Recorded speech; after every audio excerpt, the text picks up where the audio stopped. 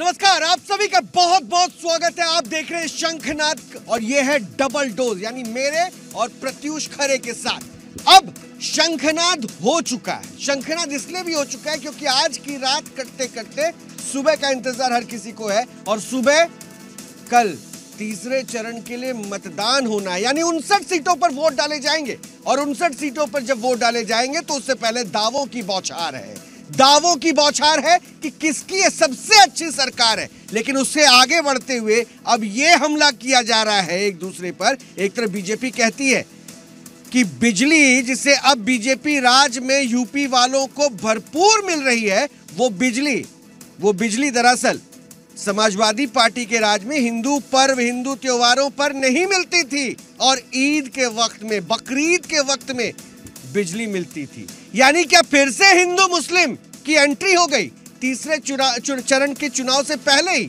सवाल यह भी उठेगा कि 440 वोल्ट के झटके से क्या एक बार फिर से बीजेपी चाहती है कि लालगढ़ का यह किला, जहाँ पर पिछले पाँच दिनों से मैं और प्रत्युष लगातार आप तक हर खबर भी पहुँचा रहे हैं, दस का दंगल भी कर रहे हैं और शंखनाथ के साथ महाबहस भी कर रहे हैं, वहाँ पर भगवा लहर लाने की कोशिश में है क्या जी। और देखिए 20 घंटे से भी कम का वक्त बचा है जब तीसरे चरण के लिए, उनसठ सीटों के लिए ज़ोर आजमाइश होगी, यानी कि मतदान होगा। सब कुछ जनता पर डिपेंड करता है, लेकिन लगातार इस तीसरे चरण में पारा किसने चढ़ाया? इस लालगढ़ ने, इस मैनपुरी ने, इस सैफई ने, इस करहल ने, जहाँ से सीधे सीधे हुंकार भरी गई कि इस बार भी ये किला अभेद रहेगा। ये अखिलेश यादव की तरफ़ से कहा गया तो दूसरी तरफ़ बीजेपी ने कहा कि इस बार करहल भी हमारा है। लेकिन जैसा रोहित ने बताया कि हिंदू मुसलमान की एंट्री सीएम योगी आदित्यनाथ बार बार कह रहे हैं, हिंदू पर त्योहारों पर बिजली नहीं आती थी। सिर्फ़ मुस्लिम पर त्योहारों पर ही बिजली आती थी। इससे पहले कल सीएम योगी आदित्यनाथ जब मैनपुरी में थे तो उन्होंने ये कहा था कि यहाँ बमबाजों की सरकार थी। लेकिन हमारी सरकार में हर हर बम बम होता है, यानी कि कांवड़ यात्रा निकलती है। तो कहीं ना कहीं हिंदू काट खेला गया तो अखिलेश यादव कहते हैं कि साहब चौथे चरण में बीजेपी का पूरी तरीके से सफाया हो जाएगा। बीजेपी वोटों का ध्रुवीकरण कर रही है, लेकिन जनता इनके झांसे में नहीं आने वाली। ये विकास के मुद्दों से भटकाने की कोशिश कर रहे हैं। तो दूसरी तरफ़ जिन्ना, मुसलमान, पाकिस्तान, सबकी एंट्री हो रही है। कहा यह जा रहा है कि अखिलेश यादव के शब्दों को बीजेपी अपने मुताबिक गढ़ करके चुनावी फ़ायदा लेना चाहती है। लेकिन अगर एंट्री अगर समाजवादी पार्टी की तरफ़ से कराई जा रही है तो असदुद्दीन ओवैसी पूछते हैं, अखिलेश यादव जानबूझ करके ऐसे बयान देते हैं ताकि यहाँ पर मुस्लिम वोटों का ध्रुवीकरण हो। तो सब कुछ चल रहा है इस चुनाव में तीसरे चरण के मतदान से पहले। लेकिन मतदान से पहले क्या है सियासी तापमान, यही आज हम जानने की एक बार फिर से कोशिश करेंगे। लेकिन शुरुआत इस रिपोर्ट के साथ।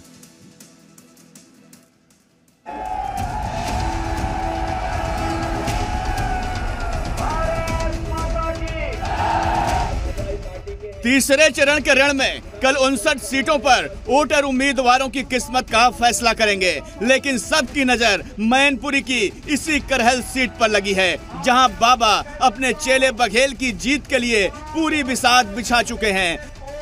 उधर बाबा ने बिजली के मुद्दे पर फिर अखिलेश यादव को 440 वोल्ट का झटका देते हुए आरोप लगाया कि समाजवादी सरकार में हिंदू त्योहारों पर बिजली नहीं आती थी जबकि ईद और बकरीद पर भरपूर आती थी।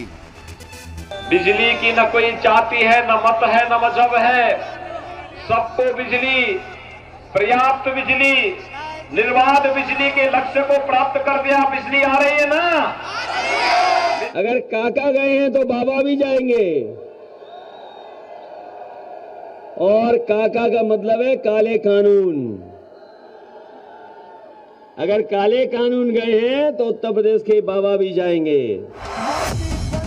सीएम योगी ने तीसरे चरण की पोलिंग से ठीक पहले एक बार फिर दंगा राज और गुंडा राज को लेकर समाजवादी पार्टी को घेरा। तो अखिलेश यादव ने दावा ठोका कि चौथे चरण के बाद ही वो बाबा की लखनऊ से विदाई कर देंगे। आज व्यापारियों पर और महिलाओं पर कोई बमबाजी नहीं कर सकता। आज भाइयों बहनों कर्फ्यू का स्थान कावड़ यात्रा ने ले लिया है।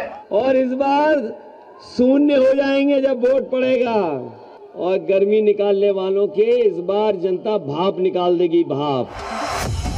अब देखना है कि करहल की रेस साइकिल जीतती है या फिर कमल खेलता है। Bureau report Zee media.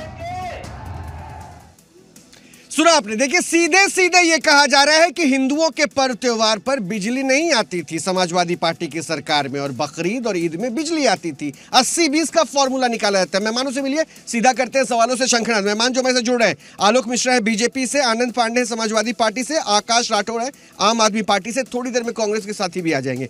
स्वागत तो है, लेकिन जरा मुझे थोड़ा सा एक जवाब, जानकारी चाहिए। मुझे और प्रत्युष को थोड़ा अपने आप को दुरुस्त करना है। आलोक मिश्रा साहब, बीजेपी। आपकी सरकार 25 करोड़ यूपी की जनता की है या फिर हिंदू विशेष मुस्लिम विशेष की नहीं है? आपकी सरकार दरअसल सबके लिए सोच के चल रही है या फिर आपकी सरकार 80 परसेंट लोगों के लिए काम कर रही है 20 परसेंट से मतलब नहीं है? हमारी सरकार आपको पता है सबका साथ सबका विकास सबका विश्वास मूल मंत्र के साथ पूरी पाँच साल कार्य किया है। और हमारी जो सरकार है पूरी 25 करोड़ पूरे उत्तर प्रदेश की सरकार है सब सभी लोगों की सरकार है सबकी भागीदारी है। ये कहना बिल्कुल गलत है। तो योगी जी को समझाना पड़ेगा फिर आपको तो। अस्सी बीस तो वो कह रहे हैं मैं थोड़ी ना कह नहीं रहा तो मैं तो पूछ रहा हूँ आपसे। नहीं नहीं तो बीस परसेंट वो हैं जो गुंडाई करते हैं अच्छा। माफियागिरी करते हैं। अच्छा। नहीं मुझे लगता है कि अभी आपने सीएम योगी आदित्यनाथ का बयान सुना है कि पिछली सरकार के समय में हिंदू पर्व त्योहारों के समय में बिजली नहीं आती थी क्या दीपावली में पूरा यूपी 24 घंटे अंधकार में रहता था? होली में पूरा यूपी 24 घंटे अंधकार में रहता था? क्या दुर्गा पूजा में दशहरा में पूरा यूपी अंधकार में रहता था? बिल्कुल। जब समाजवादी पार्टी की सरकार थी तो गिने चुने चार पाँच जनपद थे जिनमें केवल बिजली आती थी। और जो ये जुमलेबाजी कर रहे हैं जो 300 यू- यूनिट फ्री बिजली देने का वादा कर रहे हैं ये जबकि इनकी सरकार में बिजली ही नहीं आती हो फ्री देंगे क्या ये? हमारी सरकार में पूरे उत्तर प्रदेश में समान रूप से आप पता कर लीजिए हर ज़िले में तो एक बार एक जानकारी और दे दीजिए मुझे। तब एक जानकारी और दे दीजिए सर आपकी सरकार ने बिजली दुरुस्त कर दिया ना? कितने पावर ग्रिड बनाए आपने पाँच सालों में? जी। कितने पावर ग्रिड बनाए राज्य में पाँच सालों में? तमाम दूसरे राज्यों से खरीद के बिजली दे रहे हैं यहाँ पे कि लोग कह रहे हैं कि सबसे महँगी बिजली आप दे रहे हैं। कितने पावर ग्रिड बनाए? हम तमाम पावर ग्रिडों पर काम चल रहा है। काम चल रहा काम है। चल रहा है। काम चल रहा है। चलिए जल्दी से समाजवादी पार्टी से।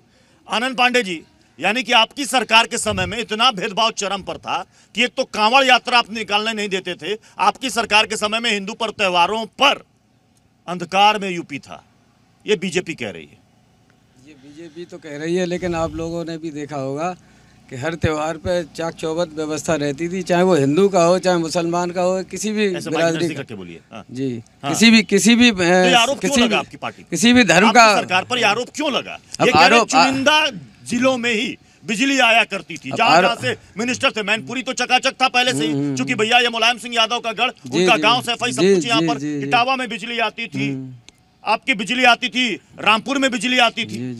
आपकी बिजली आती थी आजमगढ़ में आती थी। तीन चार गिने चुने ज़िले थे जहाँ पर बिजली 24 घंटे नहीं 20 से 22 घंटे आती थी बाकी जगहों पर 12 13 घंटे। ये क्या? उ, उस समय बिजली की इतनी व्यवस्था नहीं थी। अच्छा। अच्छा। हमा, हमारी सरकार में ही तो वो व्यवस्था केवल पाँच छह जिलों के लिए थी? कई- ना ना कई पावर प्लांट नए हमारी सरकार ने लगाए। उसकी क्षमताएँ बढ़ाई। तय कर लीजिए कि आपके समय में व्यवस्था थी कि नहीं थी। मैंने तो पूछा कि पावर प्लांट था कितने लगाए? इन्होंने कहा हम नहीं अब काम चल रहा है। जब उस समय भी नहीं था तो ज्यादा- बिजली सिर्फ़ चार चार जिलों के लिए था क्या? ज़्यादातर पावर प्लांट हम ही लोगों की सरकार में लगाए थे जो अब आके चालू हो पाए उस समय बड़ा आरोप लगता था वीआईपी ज़िले वीआईपी डिस्ट्रिक्ट और यूपी के 75 जिलों में से ऐसे वीआईपी ज़िले चुनिंदा थे। आधा दर्जन के आसपास वीआईपी ज़िले थे जहाँ के लोग बम बम रहते थे कि भैया बिजली बीस बीस घंटे आ रही है बाकी जगहों पर 13 घंटे 14 घंटे 15 घंटे।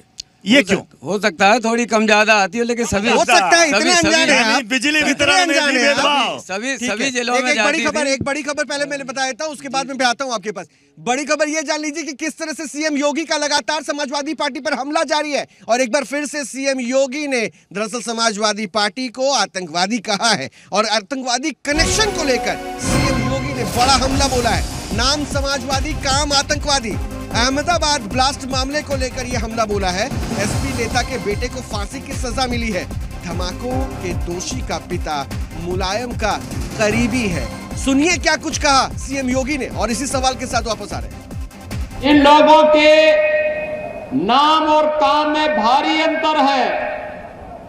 नाम तो समाजवादी है, लेकिन काम आतंकवादी है।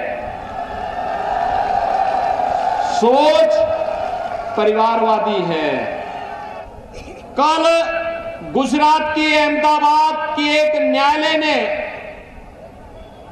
गुजरात के सीरियल बम ब्लास्ट में 38 आतंकवादियों को फांसी की सजा और आजीवन कारावास की सजा सुनाई है। भाइयों बहनों उसमें से कुछ आतंकवादियों का संबंध उत्तर प्रदेश के आजमगढ़ से भी है। और उत्तर प्रदेश के आजमगढ़ से जिस आतंकवादी का संबंध है, उसमें से एक आतंकवादी समाजवादी पार्टी के मुखिया के साथ फ़ोटो खिंचा करके समाजवादी पार्टी का प्रचार भी कर रहा है।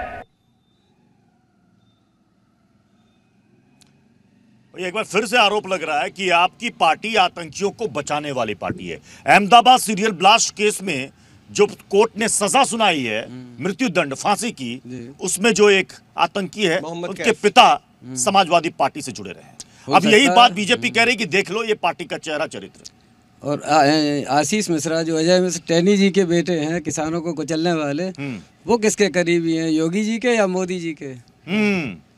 तो आप ये नहीं नहीं वो आजमगढ़ वाले उनका इस्तीफा आजमगढ़ वाले आतंकी जिसको सजा हुई है उसके पिता का कनेक्शन इस पर समाजवादी पार्टी कुछ नहीं कहेगी। नहीं कभी रहा होगा अगर कभी रहा में होगा। अगर हाँ अगर आतंकवादी का बाप तो आपकी पार्टी तो कई बार कार्रवाई की आपकी पार्टी तो कई बार ये कहती है कि ये जो सरकार है ये जाति विशेष धर्म विशेष देखकर कार्रवाई करती है। अगर किसी मुस्लिम को पकड़ा जाता है अगर उसको एसटीएफ एसआईटी या एंटी टेररिस्ट स्क्वाड टीम का अगर पकड़ती है उसे जी, जी, जी. तो ये आरोप कहा जाता है कि जानबूझ के चुके वो मुस्लिम इसलिए पकड़ा जा रहा है नहीं मुस्लिम भी पकड़ती है और ब्राह्मणों पे भी बहुत कार्रवाई करती है आगे ब्राह्मण? हाँ। विकास मिश्रा क्या था विकास मिश्रा विकास विकास दुबे। मैं विकास मैं विकास दुबे का नाम नहीं आगे ब्राह्मण पे तो आप ही आए ना। आगे ना ब्राह्मण पे तो आए ना। लेकिन है। ज़्यादातर कार्रवाई ब्राह्मणों पे ही होती है। अच्छा। एनकाउंटर भी सबसे ज़्यादा ब्राह्मणों का अच्छा देखिए आगे आगे आगे इनकाउंटर आ गया मैं समा, मैं कांग्रेस क्योंकि ब्राह्मणों के अलावा- लेकिन चूँकि ब्राह्मणों के अलावा कोई उठाया क्रिमिनल है ही नहीं। आप आप अगर अहमदाबाद सीरियल ब्लास्ट में आतंकी का समाजवादी कनेक्शन निकालते हैं तो ये कहते हैं आशीष मिश्रा। आशीष मिश्रा के पिता क्या थे? कनेक्शन क्या है? आशीष मिश्रा तो खुद बीजेपी से जुड़ा रहा। देखिए हमारे संविधान में स्पष्ट है अगर किसी जिस जो व्यक्ति अगर अपराध करेगा तो उस अपराधी से उसी व्यक्ति को मिलेगा। यहाँ भी तो मिल गई ना कोर्ट ने सजा सुना दिया अरे। तो चुनाव में क्यों उछाल रहे हैं? कौन कौन उछाल रहा है? सीएम योगी आदित्यनाथ नहीं तो हम तो बीजेपी के नेता? तो ये लोग मना कर दें हमारे संबंध मना नहीं कर है। दें? ये लोग मना कर दें हमारे संबंध नहीं है। नहीं तो आप नहीं क्या कहिएगा आशीष मिश्रा के बारे में? निकाल करके बीजेपी से बाहर फेंक दिया? किनको? अब न्यायालय में मामला लंबित है। मामला लंबित है। अरे क्यों?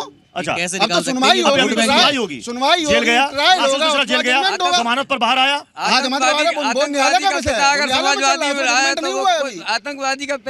है। और वो समाजवादी में अगर रहा है तो आतंकवादी का पिता आतंकवादी हो गया। समाजवादी पार्टी। कुचलने वाले का पिता अगर मतलब सेंट्रल मिनिस्टर वैसे वैसे आपकी जानकारी थोड़ी दुरुस्त कर दूँ। आपकी सरकार में ही आपकी सरकार में लगातार आरोप लगे हैं। कि आपने कई आतंकियों को कई गुनेगारों को दरअसल तुरंत जो है केस वापस करके बाहर निकाल दिया था। और आजमगढ़ के किस्सों को तो भूला नहीं है कोई। आरोप आरोप लगाना तो इन लोगों का काम है। मुजफ्फरनगर का दंगे में क्या हुआ था? हैं मुजफ्फरनगर दंगे में क्या हुआ था? आज़म खान पे क्या आरोप लगे थे? आज़म खान पे आरोप लगे थे तो उन पे कार्रवाई करी। चलिए इसी से जुड़ी एक बड़ी खबर है जल्दी से आपको बता देते हैं शिवपाल यादव को लेकर अखिलेश यादव पर योगी आदित्यनाथ ने तंज कसा आतंकियों को सिर पर बिठाती है समाजवादी पार्टी है। सीएम योगी आदित्यनाथ कह रहे हैं बस में अपने चचा को सीट नहीं दी ये योगी आदित्यनाथ कह रहे हैं। आपको सुनाते हैं सीएम योगी आदित्यनाथ ने क्या कहा है? आप अनुमान कर सकते हैं, समाजवादी पार्टी की मंशा क्या है? यानी वे अपने चाचा को कुर्सी नहीं देते हैं, शिवपाल को, लेकिन आतंकवादियों को अपने सिर में ढोने का काम करते हैं, जिससे प्रदेश की निर्दोष जनता के जीवन के साथ खिलवाड़ कर सके, और हमारी सरकार इसीलिए इसको बर्दाश्त नहीं करेगी। तो देखिए, किस तरह से लगातार यहाँ पर अब समाजवादी पार्टी पर चाचा को लेकर भी हमला बोला जा रहा है? बहरहाल, कांग्रेस भी जुड़ चुकी है मैसेज। कांग्रेस को तो मतलब नहीं होगा कि चाचा को सम्मान मिल रहा है कि नहीं है। आपको सम्मान मिल रहा है ना जनता के बीच में? नहीं बिल्कुल सम्मान मिल रहा है। हाँ। कांग्रेस पार्टी के प्रत्याशी या कार्यकर्ता कहीं भी जाएँ हाँ। उनको पूर्णतः जनता सम्मान देती है उन्हें खदेड़ती कभी नहीं है। अच्छा। जिस तरीके से आपने देखा है चाहे बीजेपी पार्टी के हों जो सत्ता पक्ष पार्टी है इस टाइम उनके कार्यकर्ता या उनके प्रत्याशी जहाँ जहाँ गए हैं। वोट मांगने कुछ प्रत्याशी ऐसे हैं जैसे महाराजगंज का भी एक देखने को मिला था वहाँ विधायक जी वोट मांगने गए हैं और वहाँ की जनता ने उनको खदेड़ के फेंका है कि आप अब आए हैं वोट मांगने पाँच साल बाद और उनको मार के भगाया हुआ है। लेकिन आप पर तो आरोप ये लग रहा है कि मैनपुरी में तीन सीट पर उम्मीदवार उतारे हैं ना। हाँ, आपके तीन उम्मीदवार तो प्रचार करने निकले ही नहीं। नहीं। बड़ी दिक्कत है कि भाई उतने कार्यकर्ता नहीं जुट रहे हैं। नहीं, नहीं, जुट है। कार्यकर्ता ऐसा- घर में बैठ करके चुनाव लड़ रहे हैं। नहीं कार्यकर्ता ऐसा कुछ नहीं है। ये पार्टी हाईकमान का जो भी निर्देश रहा है। कि घर के अंदर बैठ जाओ। नहीं नहीं घर के अंदर नहीं बैठ जाओ। ये हमारी पुरानी सोच रही है जो नीतियाँ रही हैं कि बड़े जो भी हैं हाँ। मतलब राष्ट्रीय नेता है हाँ। तो उनको सम्मान दिया है। नहीं समझा नहीं। सम्मान दिया मैं समझा नहीं। तीन क्या उम्मीदवार प्रचार करने उम्मीदवार प्रचार नहीं, नहीं कर रहे तो क्या सम्मान मिला? किसको मिला? नहीं किसने दिलाया? अगर आप सीट की कहें तो वो हाईकमान का फैसला तो था। तीन सीट की बात कर कर रहे ज़िक्र नहीं नहीं किया? वैसे मुझे तो सरेंडर है आप करेल हाँ, वैसे ऐसा तो नहीं कि हाँ, आपने हाँ, वैसे ऐसा तो surrender है आपने आपने पीएम मोदी के डिजिटल इंडिया को सबसे सीरियसली ले लिया और घर बैठे ही बस प्रचार कर रहे हैं नहीं नहीं ऐसा कुछ नहीं है कार्यकर्ता कहाँ घूम रहे हैं सर नहीं बिल्कुल मैनपुरी में भी आपने देखा है सर पाँच नहीं मैंने नहीं देखा तभी पूछ रहा हूँ। पाँच दिन से मैं हूँ मैंने नहीं देखा। यहाँ तो जो ज़ोर आजमाइश हमने देखी हाँ। समाजवादी पार्टी और बीजेपी के उम्मीदवारों में हमने देखी है। कांग्रेस का कोई नुमाइंदा कोई हमें उम्मीदवार बाहर ऐसा नज़र नहीं आया कि वो पूरे ज़ोर शोर से प्रचार करे। हम भी cover करते ना। जनसभा करते हैं, हम भी कवर करते हैं। हाई कमान की क्या स्ट्रेटेजी हमें समझाइएगा? नहीं हाई कमान की ऐसी कोई स्ट्रेटजी नहीं है। मेन क्या है जो प्रत्याशी door to door campaign door to door campaign हम लोगों ने पूरी तरीके से हमारी पार्टी ने ठीक की है। है हमारे प्रत्याशियों ने की है। आपकी पार्टी का ज़ोर शोर जो कोरोना चलता रहा है कोरोना को हैं चुनावी मैदान में। चुनाव प्रचार किया है। है? हमारी पार्टी गठबंधन ना होने के बाद। गठबंधन ना होने के बाद हमारी पार्टी जो है आपने देखा हो किसी पार्टी से गठबंधन गठबंधन नहीं करती है। निष्पक्ष रूप से अपने दम पे चुनाव लड़ती है और इस बार भी जो है यूपी से लेकर पंजाब कितनी से बार यहाँ लेकर पर आए आपके पार्टी के स्टार चेहरे? स्टार केजरीवाल चेहरे जो है मैनपुरी में भी आए हैं पंजाब में में भी आए हैं। पंजाब में भी नहीं पंजाब में तो कर ही रहे हैं। पंजाब के साथ केजरीवाल जी लखनऊ में भी आए हैं मेरठ में भी आए हैं और उनके जो अगर वो नहीं आ पाए हैं तो संजय सिंह आए हैं ठीक है? माननीय सवाजी जी आए हैं दिनेश पटेल आए हैं चौधरी सुरेंद्र सिंह आए हैं दिनेश और तो तोमर जी आए हैं। चार चार के चार में लड़ना चाहिए था जब इतने इतने चार- चार नाम गिना रहे हैं। चार में चार में हम लड़ रहे थे लेकिन दो सीट हमारी तो वही तो cancel कह रहे हैं हैं। आपके पास वेरीफाइड वो कंटेस्ट करने वाले आपको कैंडिडेट नहीं मिल पाए। अब चुनाव आयोग देखो मैनपुरी के अगर सरदर की बात करें तो उन्होंने चार सारी कांग्रेस की तरह सरेंडर कर दिया। नहीं सरेंडर नहीं कर दी हम लोग सभी कैंडिडेट होता थे चार सौ तीन विधानसभा जिनके पास पेपर पूरे नहीं हो पाए। पेपर पूरे हो गए थे लेकिन हाँ, ठीक है बड़ी खबर एक आ रही है वो बता देता हूँ मैं आपको कि देखिए अमित शाह अमित शाह अमित शाह ने किस तरह से अब 370 को लेकर धारा 370 को लेकर भी कांग्रेस पर वार किया है तमाम विपक्षी दलों पर वार किया है। यानी उत्तर प्रदेश चुनाव में तीसरे चरण के आते आते धारा 370 भी आ चुका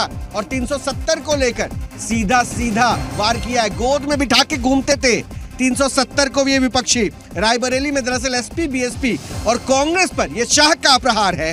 धारा 370 को गोद में लेकर घूमते थे विपक्षी दल। ये लोग बच्चे की तरह धारा 370 से प्यार करते थे।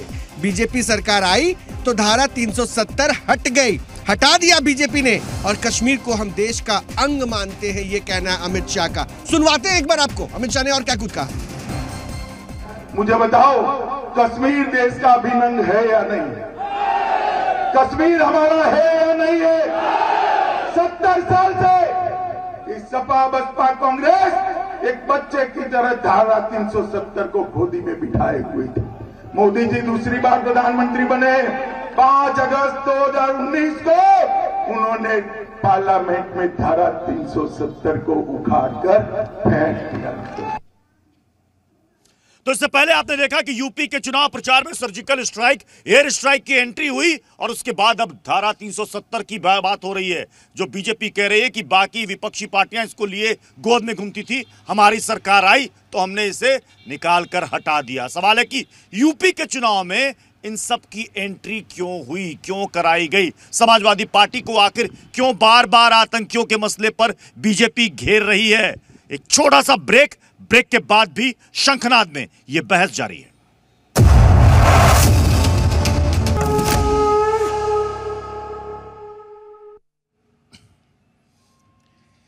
तो ब्रेक के बाद फिर से आप सभी का स्वागत है। आप देख रहे हैं शंखनाथ ब्रेक पे जाने से पहले हमने दिखाया था कि अमित शाह ने कहा था कि 370 को लेकर ये गोद में घूम रहे थे। कौन? विपक्षी, कांग्रेस, एसपी, बीएसपी। और 370 खत्म किसने किया? बीजेपी ने। कश्मीर हमारा अंग है। ये बात तो ठीक है। कश्मीर हमारा अंग है इसको लेकर एक आपने स्टैंड लिया। लेकिन उत्तर प्रदेश में फिर कश्मीर का मुद्दा ज़िंदा करना क्या? वैसे मैं बीजेपी से समझू से पहले समाजवादी पार्टी से समझूँगा। वैसे 370 370 बार बार मुद्दा लेकर आपको घेरा जाता है कि आपके राष्ट्र प्रेम में जो है थोड़ी सी कमी है। तो ये बताइए ना 370 पे आपका स्टैंड क्या है? पहले स्टैंड बता दीजिए फिर राष्ट्र प्रेम को इनसे समझ लेंगे। 370 के हम लोग विरोध में थे और पार्लियामेंट में भी हम लोग विरोध विरोध मतलब विरोध मतलब क्या क्या? ज़ोर से मतलब- बोलिए। ज़ोर से बोलिए सर। हम लोगों ने जो है डिस्फेवर किया था 370 अरे डिस्फेवर किया वो नहीं कह रहे 370 हटके कश्मीर अपने देश का हिस्सा बना एक तिरंगा कश्मीर में ही है वहाँ दो झंडे अब नहीं है। तो इस बात से भी आप डिसएग्री करते हैं क्या?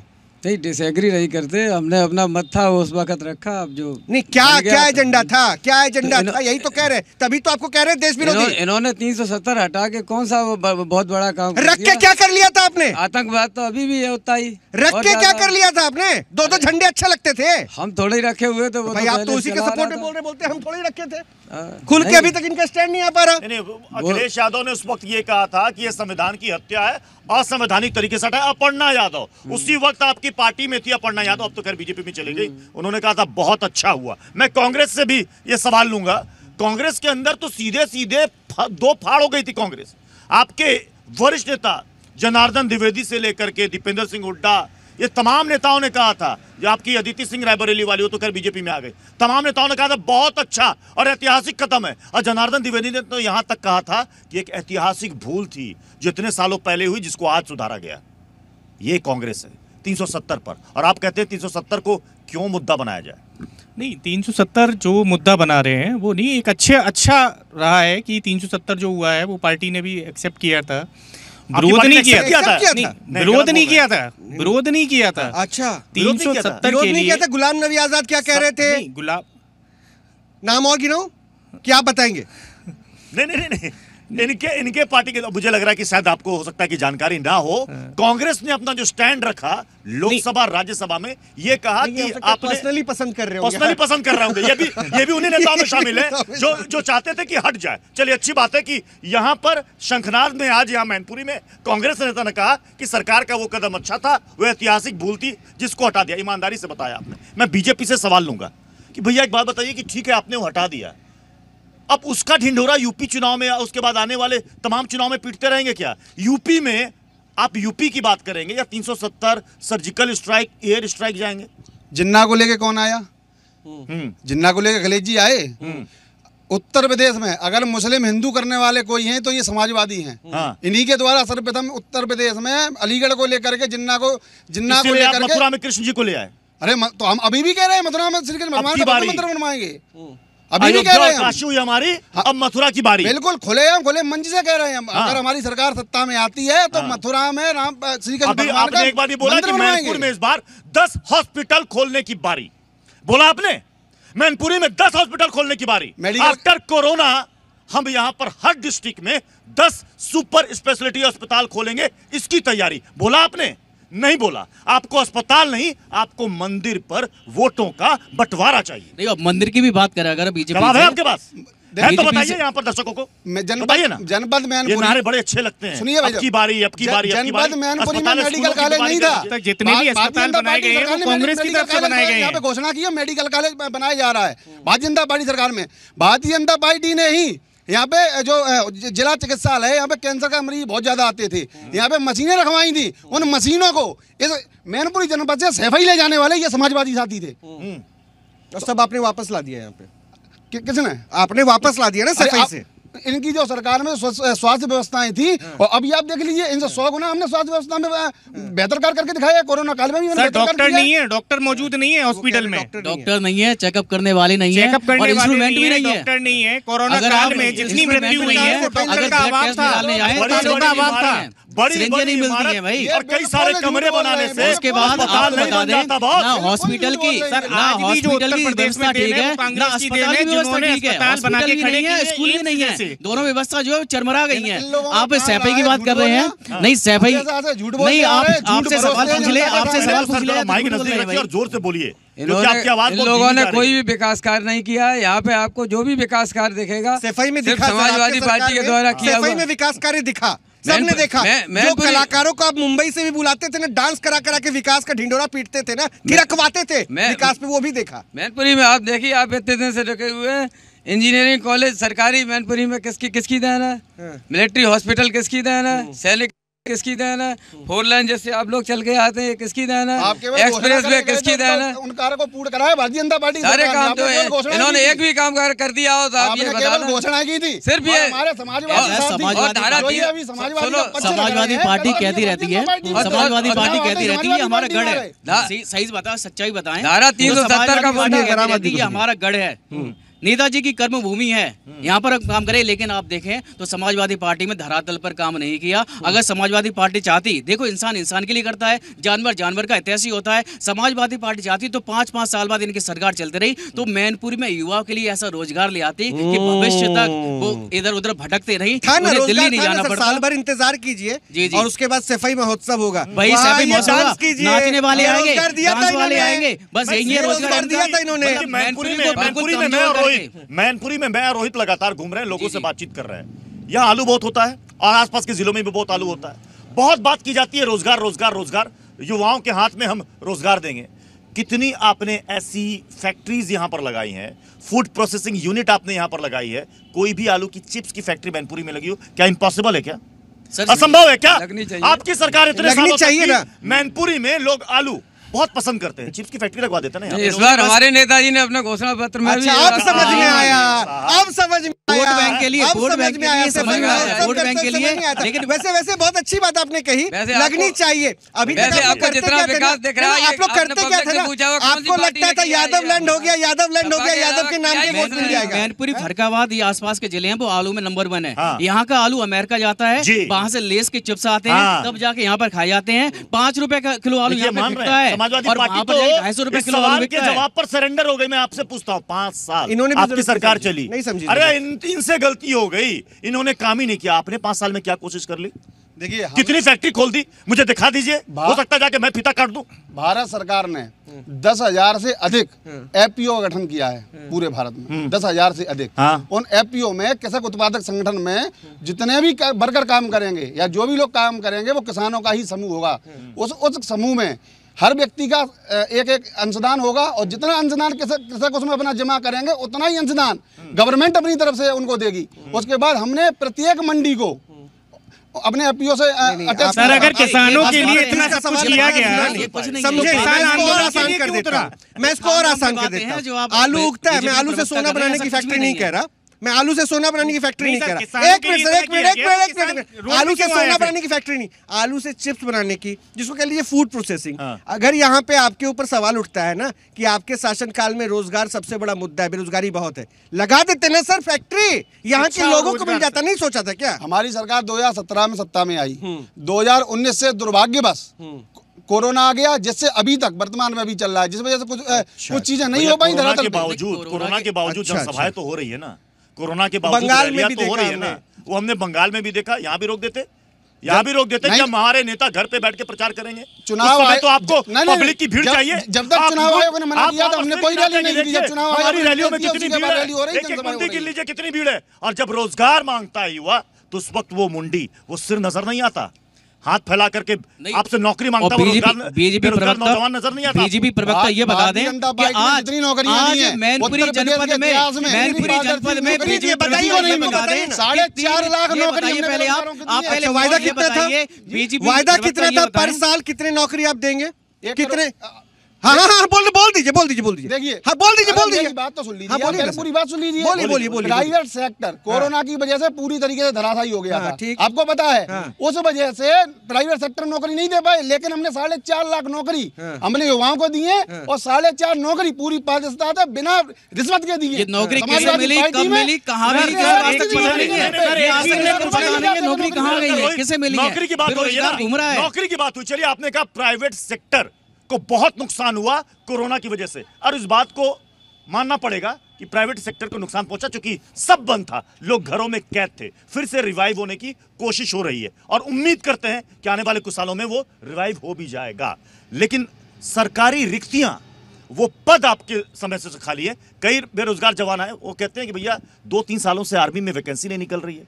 लोग कह रहे हैं हमारी उम्र बीतती जा रही है। बच्चे खड़े बच्चे खड़े उन्होंने कहा कि प्लीज़ सर प्लीज़ सर एक सवाल ज़रूर इस गवर्नमेंट से आप पूछ लीजिएगा। हमें कोई नहीं कौन किस पार्टी से? बस हमारी उम्र निकलती जा रही है। कब आएगी वैकेंसी और जब वैकेंसी के लिए वो आवेदन करते हैं परीक्षा देते हैं रिज़ल्ट ही नहीं आता। एयरफोर्स का रिज़ल्ट ही आया। बताइए। देखिए जो भी चीज़ें अभी वो प्राइवेट सेक्टर नहीं था सर। ना, ना, अरे प्राइवेट सेक्टर की बात मैंने कही दीजिए ना नौकरी। एयरफोर्स ग्रुप का रिज़ल्ट आया है। हम नौकरी दे रहे हैं पूरी पारदर्शिता के साथ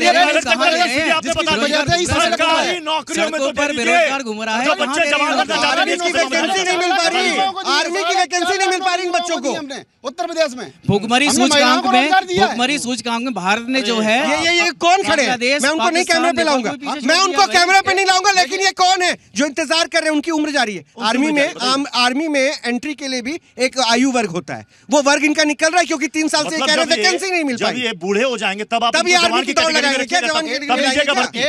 भर्ती। एक साथ नौकरी नहीं दे सकता किसी को। समय के हिसाब से ही तो तो समाजवादी पार्टी और कांग्रेस तो भी कहेगी हम एक साथ नहीं दे सकते। ये भी यही यही यही भी कहेंगे हम एक साथ नहीं देख सकते। हमारी क्या गलती?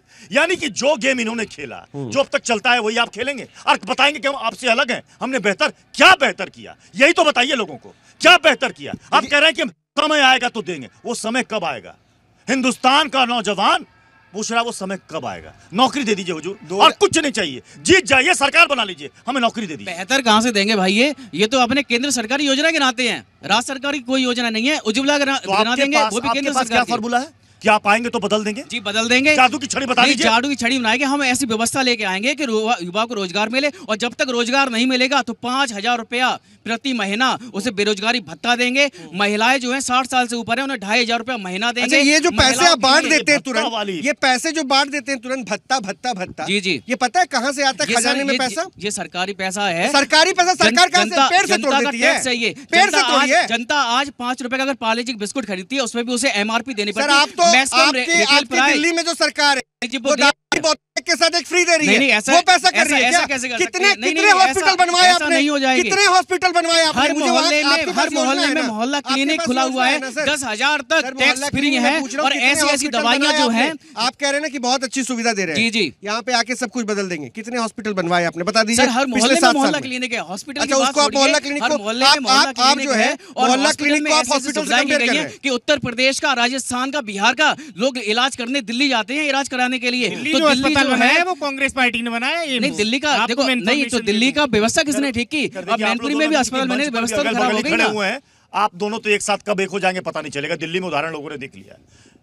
मुस्कुराइए मत दोनों मुस्कुरा रहे हमारी पार्टी गठबंधन यहाँ पर भी आप लोग एक ही हो जाएँगे। गठबंधन नहीं अच्छा, कर चुके इसलिए शुरुआत में मजबूरी थी मजबूरी के लिए उन्हें केजरीवाल जी ने इस्तीफा दे दिया कहा कि हम निष्पक्ष रूप से चुनाव अच्छा। लड़ेंगे और निष्पक्ष रूप से कितनी बार इस्तीफा दे चुके हैं क्या बताइएगा आप? धरने पर कितनी बार बैठ चुके हैं? लोग जानते हैं मैं कांग्रेस से सवाल कर रहा हूँ। आपने कहा कि भैया यूपी में क्या पूरे देश भर के राज्यों में और जिलों में जितने भी काम हुए हैं वो कांग्रेस ने किए हैं। ऐसा क्या हो गया कि इतने काम अगर कांग्रेस ने किए तो कांग्रेस आज जूझ रही है। यहाँ तो तीस साल से जूझ रही है।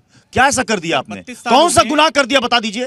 सर बत्तीस साल हो गए हैं। उत्तर हाँ, प्रदेश में हाँ। कांग्रेस हाँ, पार्टी अभी नहीं आई है। हाँ, और हमको मौका नहीं मिला। हाँ, ये आपका संगठन आपका संगठन ज़मीन में दब गया अंदर। नहीं सर दब नहीं गए। हाँ। सर जो राज्य पार्टियाँ रही हैं। हाँ। उत्तर प्रदेश की समाजवादी पार्टी है बसपा पार्टी है राज्य पार्टियाँ हैं। हम्म।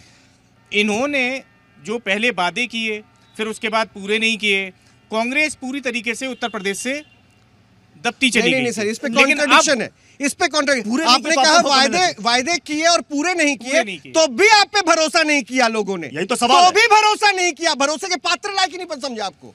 नहीं सर ये ये आप तो आप ही बोल रहे हैं। आप मैं नहीं बोल रहा। आप खुद जवाब आप बोल रहे हैं सर? अगर इन्होंने पूरा नहीं किया तो आप पूरा नहीं किया तो आपको आ जाना चाहिए था। ऑप्शन बन जाते फिर। यानी आप भी जनता के लिए उनका विकल्प नहीं है। नहीं सर आप बत्तीस साल पहले की बात करें उत्तर प्रदेश में जितना भी विकास हुआ है छोटा भी हम बात करते हैं। पार्टी से भी। पावर हाउस जो तो बनाया था वो भी कांग्रेस पार्टी ने बनाया था। जिसकी वजह से पार्टी दोबारा सत्ता लौट नहीं रही है। आपने तो अपने समय में बड़ा कहा था कि काम बोलता है हमने ये बनवा दिया वो बनवा दिया। हाँ। तो आपको जनता ने क्यों रिजेक्ट कर नहीं विकास कार्य तो हम झूठे वादे करके झूठी झूठी वादे उसका मिसगाइड करके जनता को जो है जीत लिया अच्छा, कब कब कब इस, कब? इस बार इस बार अच्छा चलिए मेरे पास वक्त इतना ही है मेरे पास वक्त इतना ही है लेकिन अगर ये झूठे वादे कर रहे थे तो मैं जाते जाते सिर्फ़ इतना बोल दूँगा। 2014 में झूठे वादे करके ये सरकार बना लेते हैं 2019 में जो है 2017 में फिर से आपको हरा के झूठे वायदे करके फिर सरकार बना लेते हैं 2019 में फिर सरकार बना लेते हैं। तो ये झूठ की हांडी क्या जनता इतनी बेवकूफ़ समझ रखी है क्या आपने? इतनी बेवकूफ़ समझ रखी है क्या कि झूठ की हांडी बार बार चढ़ाएँगे और। सर समझना होगा। चलिए बहुत बहुत शुक्रिया। यही तो समझना है। यही तो समझना है कि कौन क्या कह रहा है और कौन क्या समझा रहा है। लेकिन समझना सिर्फ़ आपको है क्योंकि वोट आपको डालना है। ताकत आपके हाथ में है पावर आपके हाथ में और उसके बाद पाँच साल के लिए पावर एक पॉलिटिकल पार्टी के हाथ में होगी, जो पाँच साल तक सरकार चलाएगी, जिससे आपको कई सारी उम्मीदें हैं। इसलिए सोच समझ करके वोट कीजिएगा। कल तीसरे चरण में यहाँ पर मतदान होना है। घर से निकलिएगा, ज़रूर मतदान कीजिएगा, लेकिन आपको बता दें कि अभी छोटे से ब्रेक के बाद मैं और रोहित रंजन दोनों वापस लौट रहे फिर एक घंटे की बहस होगी, कुछ और सुलगते सवाल होंगे। फ़ौरन वापस आ रहे हैं।